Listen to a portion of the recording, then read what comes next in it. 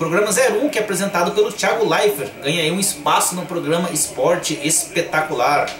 É isso mesmo. Com base nessa atitude da Rede Globo, fica aí uma pergunta. Será que o resultado do programa nas madrugadas de sábado tem sido satisfatório? No meu ponto de vista, imagino que sim, porque se não fosse por isso, talvez isso não teria acontecido.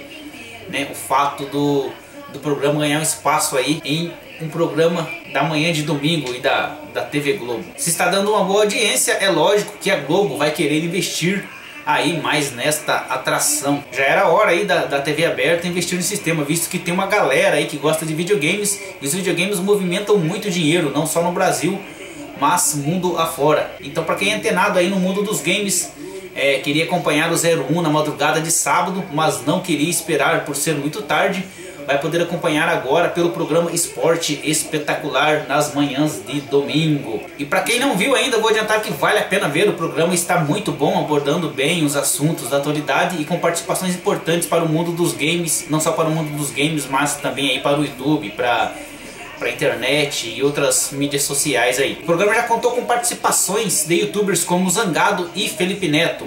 E daí, você acompanha o programa? Se acompanha, gostou ou não? Deixa aí seu comentário. E lembrando, se estiver aqui pela primeira vez, não se esqueça de se inscrever nos nossos canais. Então por hoje é só e até o próximo vídeo. Valeu!